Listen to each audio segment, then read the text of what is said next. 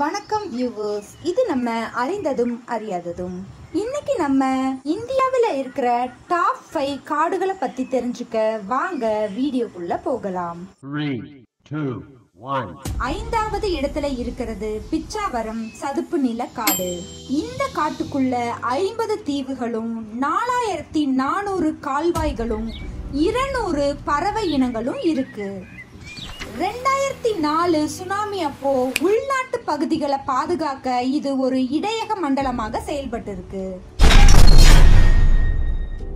நாலாவது இடம் கன்ஹா தேசிய பூங்கா. இது ஆயிரத்தி தொள்ளாயிரத்தி ஐம்பத்தி அஞ்சுல நிறுவப்பட்டது.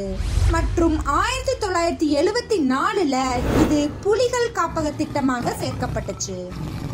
இந்த காடோட சாதனை சதுப்பு மான்கள் இன்னும் அழியாம காப்பாற்றுவதுதான் இது தேசிய பூங்காவின் சின்னமாகவும் மாறியது.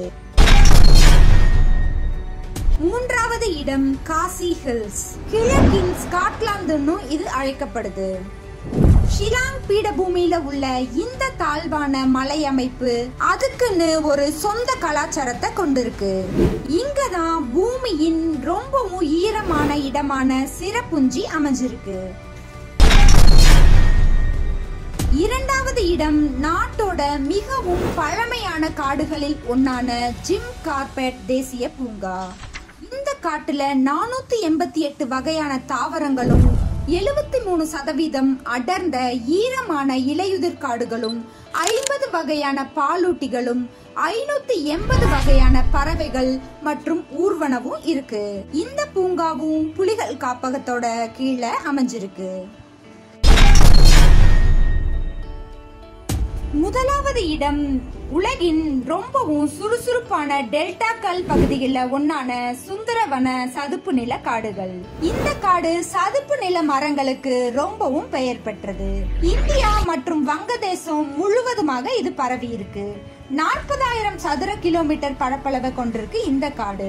கடலோர சதுப்பு நில காடுகள்ல இது தனித்துவமானது. இருநூத்தி அறுபதுக்கும் மேற்பட்ட பறவைகளும் கம்பீரமான கருப்பு கோடுகள் கொண்ட ராயல் பெங்கால் புலி கூட இந்த காட்டுல இருக்கு. இந்த காட்டுல நூத்தி ரெண்டு தீவுகள் இருக்கு.